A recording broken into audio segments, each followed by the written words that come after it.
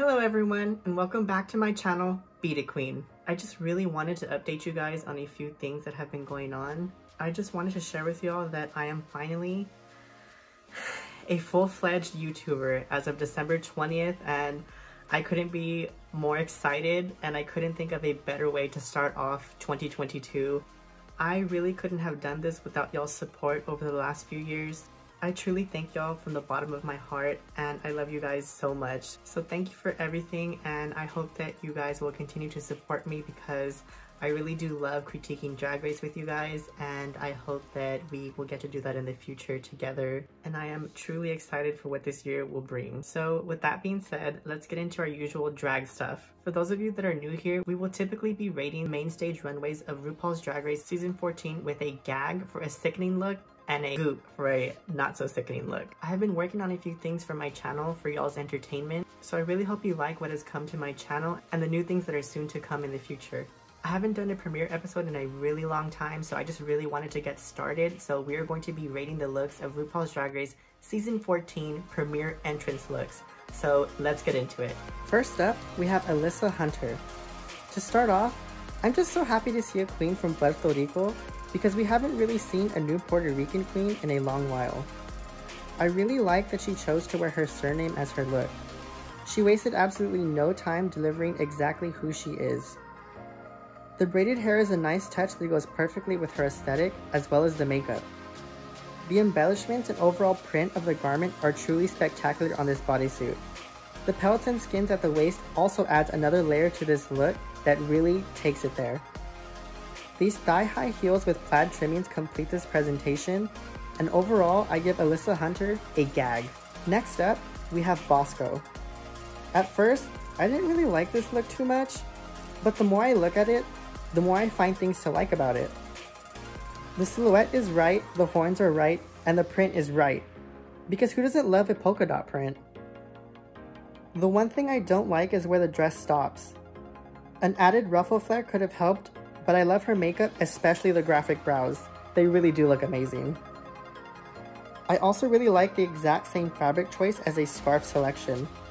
It feels really campy yet fashionable and tells me exactly who she is and for that it's going to be a gag. Next up, we have Kornbread the Snack Jeté. First of all, I just really want to say that I really do enjoy her name. It's unique, it's different, and it is totally her, and it fits her drag aesthetic. There's so much to like about this simple yet cool looking dress. This leather slash pleather all black and gold is the moment. The golden nails, the necklace, and the hair accessories complement her dress beautifully. The wig and shoe choice is pure perfection, and the makeup is gorgeous. We stand a gorgeous funny queen. She feels fresh, charismatic, and like humor just rolls off of her, and I really like that about her. She will definitely be one to beat, so these other queens better watch out. It's a gag. Next, we have Willow Pill.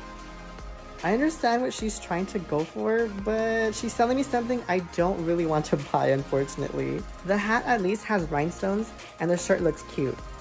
It has a humor about it by having Angel misspelled purposely, which tells me exactly who she is, and her makeup looks nice.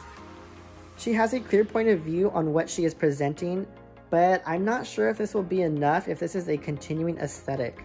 Drag isn't any set way, but this is just so ready to wear, you can purchase it at a Goodwill anywhere. Also flip-flops? Girl. To me that is not good and feels a little lazy, and for those reasons, it is going to be a goop for me. Next is Kerri Colby. I am so sorry, Willow, but they did you so dirty by having you go between two polished queens. Kerri looks so beautiful. I also love that she is sporting the trans flag and colors in her garment. The outfit is simple yet chic and fierce, and she looks immaculate.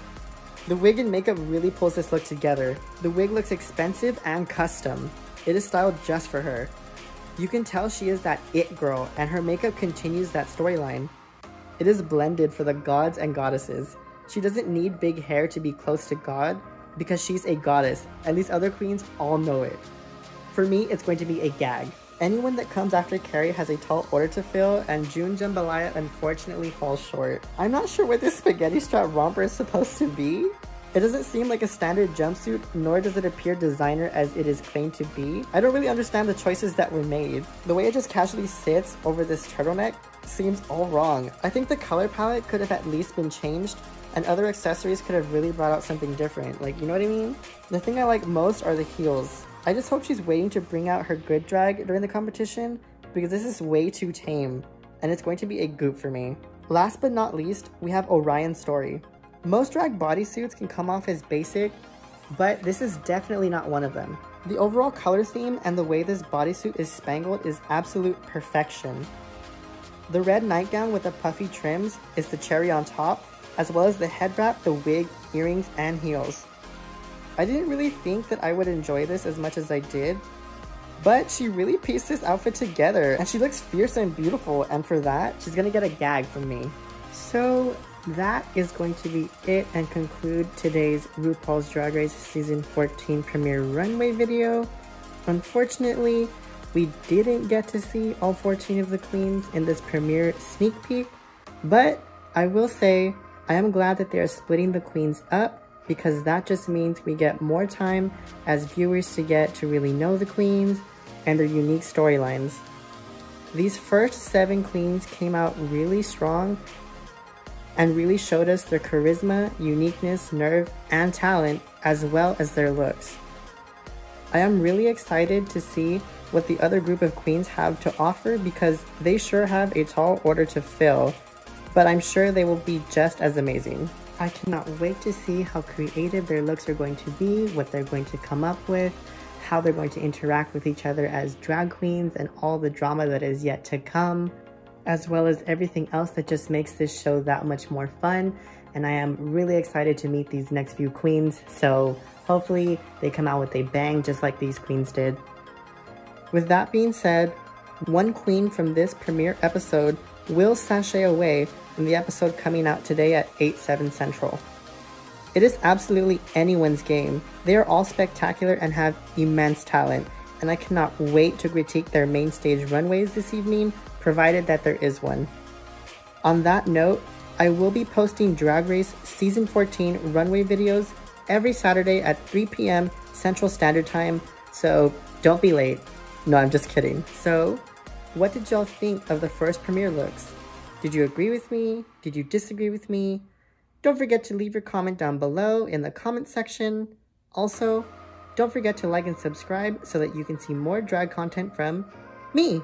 Also, one last thing, I would really just like to once again thank y'all for the love and support. It really means a lot to me and I'm going to continue working hard to make this channel even more special.